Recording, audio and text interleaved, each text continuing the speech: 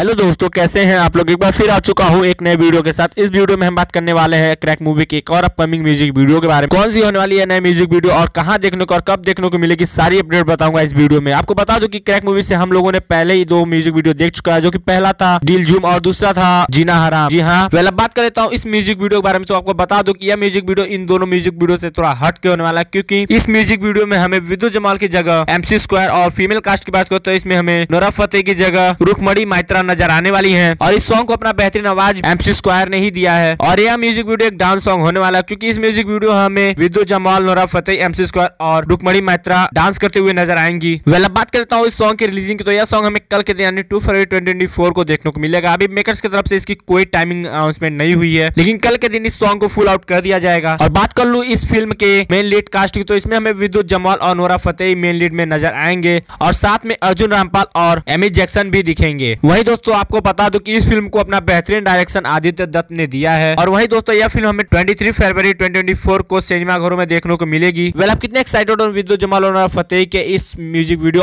और मूवी के लिए हमें कॉमेंट बॉक्स में जरूर बताना और वीडियो पसंद आए तो इस वीडियो को लाइक करना और ऐसे ही लेटेस्ट अपडेट के लिए इस चैनल को सब्सक्राइब कर लेना